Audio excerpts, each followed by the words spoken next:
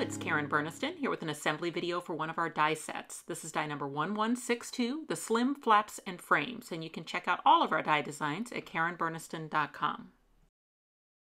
The Slim Flaps and Frames creates the flaps and some decorator pieces to fit a 4x9 piece of cardstock to create a four panel slimline card. It does not make a pop-up on its own, so you would add one of our other pop-up dies. This one from the packaging sample uses our Mini Pops pop-up. It was actually a Mini Pops card that made me design this die because I had made a card like this by cutting all the flaps by hand as part of the assembly video for our Mini Pops pop-up die set. People really liked that card and that concept of the four flap opening slimline, so we created a die to do it easier. Now, a lot of times you'll use magnets to hold your flap closed. So I've got magnets kind of hidden in the card, and I will do that a lot with slim flaps and frames. But I wanted to teach in the video today a different type of closure, which is a twine wrap. So this is the card I'll be making in the video today. It does have that wraparound twine closure so that I did not have to use magnets. I just had to add a little extra flap to the bottom. I also wanted to show a different pop-up being used in the Slim Flaps and Frames, so I will be using the Upsy Daisy today. Now my card has a From the Garden Happy Spring theme, but just really think of these assembly videos as generic techniques. So just swap out the colors and the styling, and you can make that into any themed card. If you start from a piece of 12 by 12 cardstock, and this is just regular 80 pound textured cardstock, it doesn't have to be textured, this just happens to be a color I liked. And I'm going to cut it at 9 inches, then turn it in the trimmer and cut three 4 inch strips. And two of those 4 by 9 pieces are going to be for the background of my card. Then I will take the extra pieces and use them to cut all four of the flaps.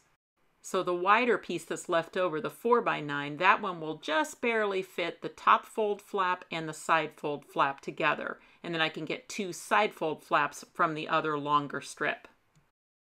You can use any die cutting machine that can accommodate a wafer thin die, and today I'm using my Spellbinders Platinum 6. So the one that has the long top fold, I just go ahead and fold along the score line, and then it's a great idea to take a bone folder and just really get a nice crisp fold to that. Same thing with the side fold flap. The die has done the scoring to create the side flap. I always like to fold towards myself first. I just find it folds easier that way. And then I reverse it to make it a mountain fold. And that's just because I have texture to my cardstock and I want the pretty texture on the front. And then for my other strip, I can get my two remaining side fold flaps.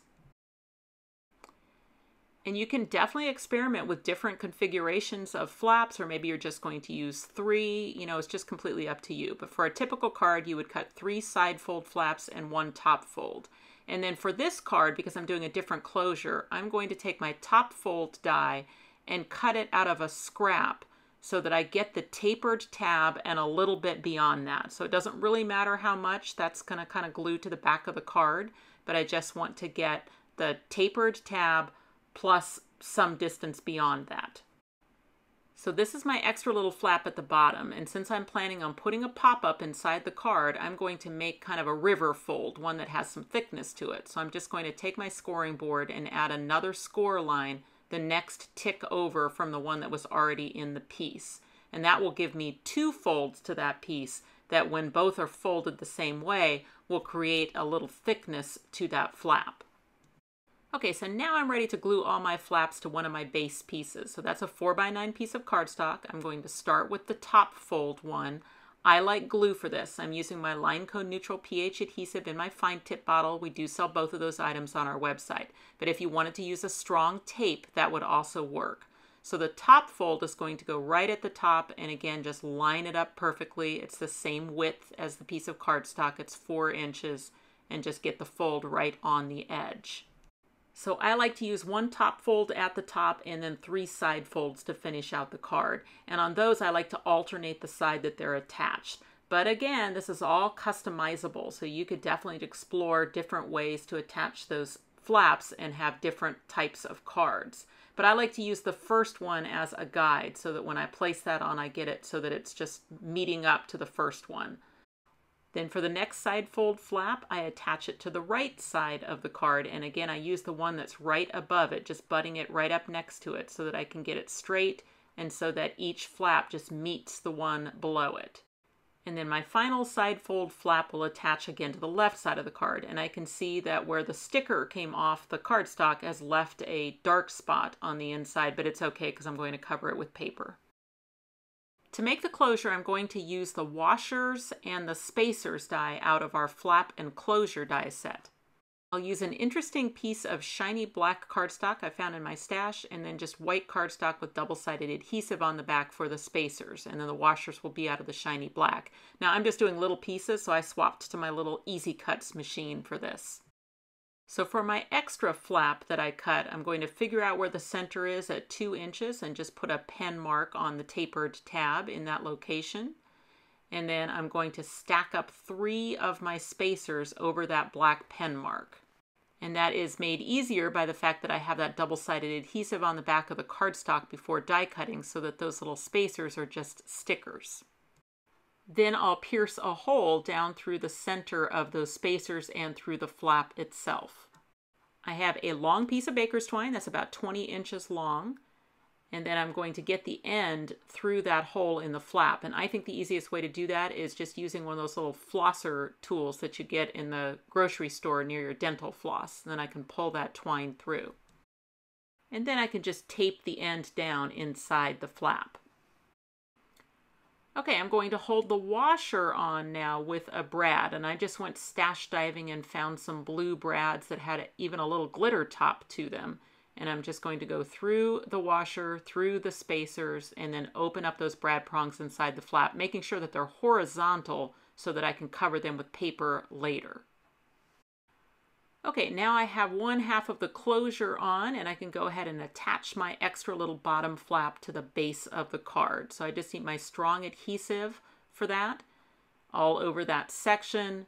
Then I just line it up with the bottom of the card to the first fold line so that both fold lines can kind of come up and over the card. Okay, with everything attached now to the back, you can see those tabs. It's a little flimsy, the card is, but remember I cut that extra 4x9 panel to both stiffen up the card as well as cover the flaps on the back.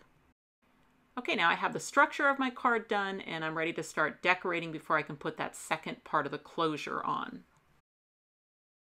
These are technique videos, so I just use whatever paper I can find. I've got a couple older pieces from my stash here that seem to have some pretty colors. And this piece that has the medallions and the flowers on it, I noticed that this blue section right here would be perfect for my upper flap where I'm going to put the closure. There are lots of ways to layer the rectangles and frames from the Slim Flaps and Frames set. I just chose the medium rectangle. I'll start with the large rectangle from the set, then that medium one that I just cut, and then there is a cool little intricate frame in the set.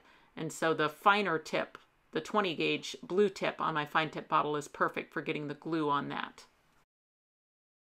Now I can complete the other half of my closure. And this half is easier because it doesn't need twine. So I just stack my three remaining spacers in the center of that flower. Then I'm going to pierce down through the flap, opening up the card so that I don't go through the entire card, but just through the flap itself. Then I attach my washer using my other brad and open up the prongs inside. I will just cover those with paper. So magnets work great, or even just keeping your flaps closed by putting it in the envelope and it'll eventually flatten out. But if you do want a closure, this twine closure is another option. One of my favorite tools for emptying out an intricate die would be a Spellbinders Tool'n One. So we do sell those on our website, but great little wire brush for cleaning out a die. There's also a pretty scalloped rectangle in the set, and you always have the option to nest in some of the smaller rectangles to make frames. So I am just using the dies in the set in various ways to create all sorts of rectangles and frames. So on these blue pieces, for instance, I cut a rectangle out of the middle of that zigzag piece that actually came out of the middle of that frame. And because there are so many combinations of rectangles that you can make using this die set, you really can rely pretty much just on the pattern paper to be the decoration of the flaps. So that's kind of a time saver. You know, you don't have to, but you really can rely on pattern paper and then maybe just decorate one of the flaps with some die cuts. That's what I'm doing here. I'm using the garden charms. And then the two hearts from the slim flaps and frames layered together. I can use the flap die again just over the tapered tab part to get a piece of paper to fit inside the flap to cover up the brad prongs and the end of the twine. Then I decorated inside the card using the largest rectangle die from the set. For the first flap, I didn't use a pop-up. I just decorated inside with more of the slim flaps and frames and our Happy Spring die. The Upsy Daisy pop-up die includes mirror image mechanism die, so that's perfect for the slim flaps and frames. What I like to do is mark an M through the triangle and a V through the tapered tab at the bottom. And I need one more of these ones with point towards the left and then one that has point to the right. M means mountain, so that means the two folds that are in the triangle wing of that pop-up should be mountain folds folded away from me. V means valley, so that means the four folds that are in the long section of the pop-up should all be folded as valley folds, folding toward myself. Then what I want to do is add some adhesive in the tapered tab over the V I want to attach that tab to the other side of the pop-up. And I can do that in the flat position, just finding a position where it's flat, and then I can fold that tab over and onto the other side of the pop-up. Then I can work the folds in both directions. The small little rectangle is the base. That's the one that's the closest to the M triangle. And then the other end is the top. So I'm going to mark those just to remind myself. Okay, finding the flat position means that the word base should be visible on one side, M should be visible on the other. It could be that you have that flipped the other way and you can't read the word base, so just make sure that you can read both. Now we're going to glue down the base, but it's the M triangle that's going to help us determine where. So the M triangle is going to go right in the fold of the card with the tip up at the top of that flap but we're actually gluing the base down. So we're working on the base side and now it's attached to the card in the right position.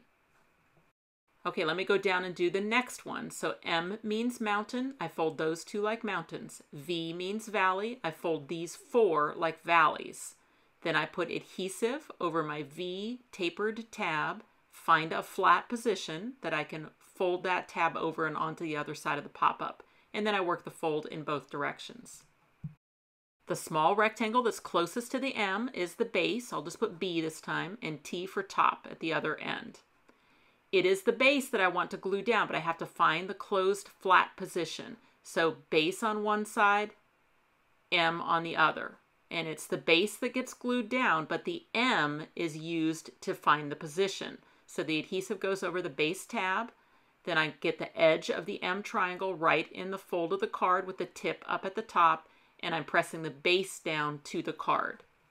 And I'm going to leave my three pop-ups unattached right now. I'm not going to attach the M triangles yet, and instead I'm going to work on the squares that are going to go on top. The Upsy Daisy includes two plain square dies. One is slightly smaller than the other, and that means that you can actually layer them and get a really thin border. And then what I'm going to do is attach my set of squares to one of the scalloped squares that comes in the Upsy Daisy set.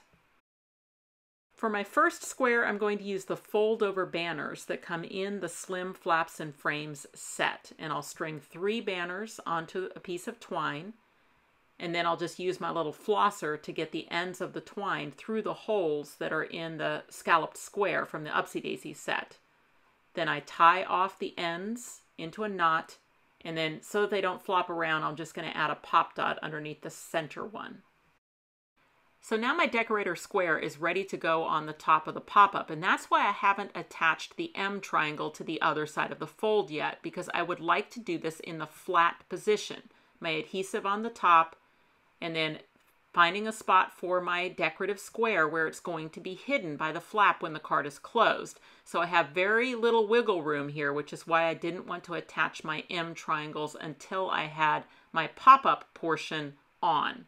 Now I can add my adhesive all over my M triangle and then just keeping everything flat, I want to close the flap against the exposed adhesive and then that will attach that M triangle to the other side of the fold and make the pop-up start working. It'll lift that square up as it opens.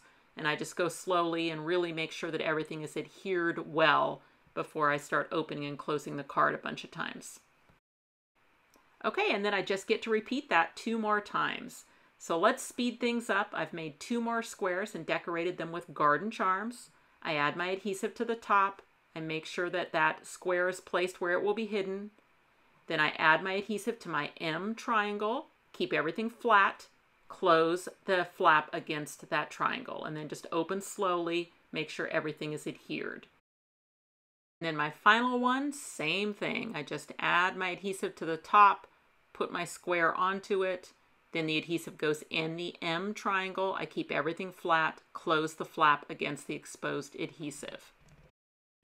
So such a fun movement by using the upsy daisy mechanism and you can have all three of those squares coming up as the flaps open.